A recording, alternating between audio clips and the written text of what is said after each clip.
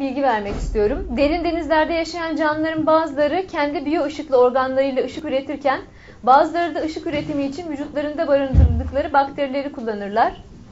Biyolüminesans adı verilen bu soğuk ışık üretimi kompleks kimyasal reaksiyonlar sonucu oluşur. Bu canlılar kırmızı, turuncu, sarı, yeşil, mavi ve mor olmak üzere farklı renklerde ve frekanslarda ışık yayabilirler.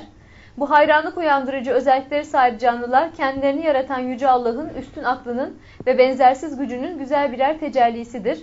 Allah her canlıyı, şeytandan Allah'a sığınırım.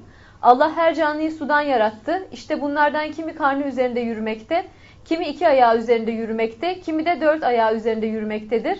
Allah dilediğini yaratır. Hiç şüphesiz Allah her şeye güç yetirendir. Nur suresi 45. ayet. Bunlar deniz diskosu. Evet. Diskoda eğleniyorlar. Evet. Ve sürekli dans halindeler zaten böyle açılıp kapan hareketler falan. Işıkla falan toplantı yapıp eğleniyorlar kendi aralarında. O dalga falan da onları çok açıyordur.